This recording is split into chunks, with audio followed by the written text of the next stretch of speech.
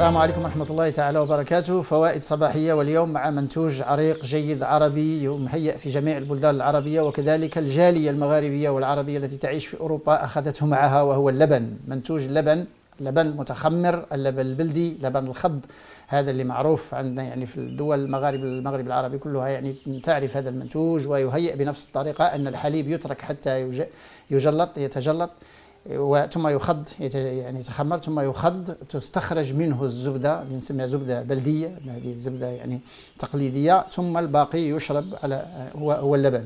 فيعني هذا تخمر الحليب فيه يعني حادث عجيب جدا هو أن البكتيريا اللبنية الموجودة في الحليب تثبط الكوليسترول بمعنى تشد هذا الكوليسترول يصبح غير ناشط. ثم أن بقية يعني الكوليسترول يمشي مع الزبدة ويعني اللبن يكون تقريبا تقريبا خالي من الكوليسترول. من جهة لأن الكوليسترول يمشي مع الزبدة من جهة ثانية أن البكتيريا اللبنيه تثبط هذا المنتوج. بمعنى أن اللبن هو هذا اللبن الخض هو المنتوج الوحيد الذي يمكن مثلا للمصابين بأمراض القلب والشرايين أن يتناولوه لأن ليس فيه دسم وليس فيه يعني كوليسترول. هذا الفصل فصل الربيع الآن الأبقار ترعى واللبن احسن لبن هو لبن الربيع لبن الحشائش والكلى الذي تتغذى عليه هذه الحيوانات لأنه يكون غني بالأيودين وغني بالفلافونويدات طبعا هذا اللبن. ثم يعني الأرياف والبوادي المغربية والمغاربية يعني لا زالوا يحضرون إن شاء الله نتمنى أن يبقى هذا المنتوج وهو المنتوج الذي الآن أخذه معهم.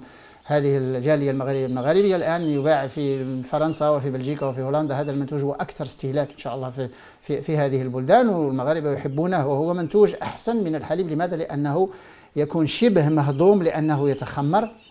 ثم أن هذه الدسم ينزع منه مع كما قلت الكوليسترول ثم أن البكتيريا اللبنية تحل محل البكتيريا الغير مرغوبة والبكتيريا اللبنية هي البروبايوتيك وهو ما ينقص الان في النظام الحديث يعني الان البروبايوتيك يعني البكتيريا اللبنية التي تنقص إن شاء الله.